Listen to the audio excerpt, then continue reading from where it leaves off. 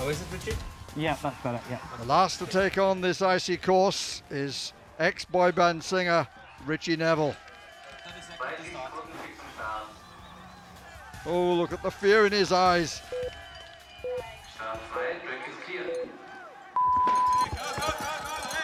But he sang five will make you get down. I've got news for him. So will this sled, and even faster. He's made a good, comfortable start. Nice. Holding his line very well indeed. Nice and high, which should give him some extra speed. He's hot on Marcus's heels. There's the split time. That's the fastest of all the men today. Oh, Looks beautifully balanced. Oh, 96.38 kph. He's like a rocket. On the right hander, holds that well. And he comes to the finish. Oh, will that final bump be costly?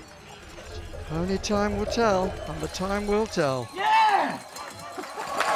I love it, Richard, because at the end, at the end, you're always like, I'm alive! That's all it is. I don't think I've won. I'm just going, yes, I'm alive. so, you've already had to face the jump once to stay in the competition. Yes. I'm and I'd sure- like a sick note.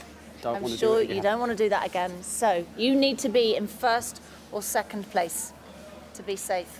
Okay. Have you made it?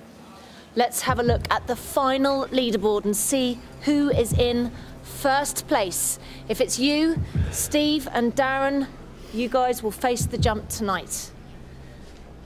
So the person in first place is.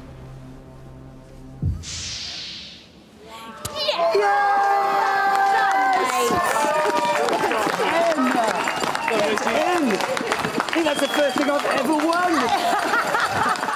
Well, he was pretty fearless going down the uh, giant slalom of course, and he came to the skeleton and life changed. That will cost him a bit. Over a second quicker than down at 20.38.